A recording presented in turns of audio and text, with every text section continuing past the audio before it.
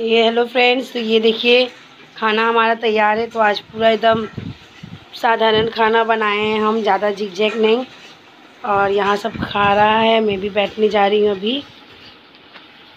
समय तो सब्ज़ी, भात ही अच्छा लगता चटनी वगैरह के साथ। फटाफट से खाना खा लेते आइए, बिस्मिल्लाह कीजिए। मैं खाना वाना खाने के बाद मैं थोड़ा सो गई थी, बच्चों लोग को ले करके और अभी मैं उठी हूँ तो चलती हुई देखती हूँ, कुछ बच्चे लोग को नाश्ता वगैरह दे दूँ।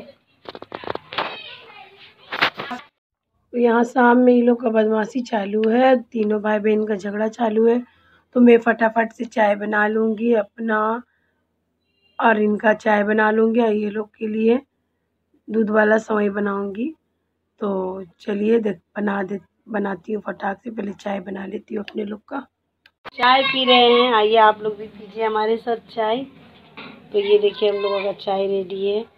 और बच्चे का कुछ नाश्ता बना रहे हैं वहाँ पर। तो ये लोग का बना रहे हैं दूध वाला सवई। तो ये लोग को दे देंगे। और इनको दे दिए चाय हैं। तो हम भी तो चाय वाय पी लेते तो आपसे बात करते हैं। चाय फीका हो गया है तो ये चीनी एक्स्ट्रा ले रहे हैं। और ये देखिए, ये अपना दूधा समय का इंतज़ार कर रहा है मेरे बाबू। तो यहाँ चाय में चीनी घोला जा रहा है क्योंकि चाय थोड़ा फीका हो गया है। तो ये यहाँ बन के तैयार हो चुका है। गर्म बहुत है। तो थोड़ा नॉर्मल करके लोग को दूँगी। वैसे तो फ्रिज में ही मज़ा है इसे खाने का। तो ये छोटा सा ही वीडियो है। और बस ऐसे ही आप सबको इवनिंग का दिखा दिए। दिन में जैसे कि खाना खा के सो गए थे हम लोग। तो उठे तो सोचे इवनिंग का नाश्ता बच्चे लोग को दे दूँ। और वैसे भी अभी निशा को लेके दौड़ लगाना पड़ रहा है तो थोड़ा सा वीडियो में मेरा इधर उधर हो जा रहा है।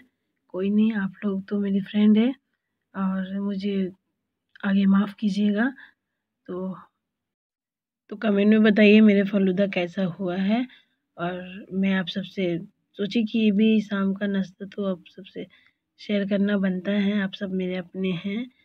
तो अगर मेरा वीडियो आज का आपको पसंद आया तो प्लीज़ लाइक, शेयर और कमेंट कीजिएगा। और नहीं है तो सब्सक्राइब कीजिएगा। तब तक के लिए अल्लाह हाफिज़।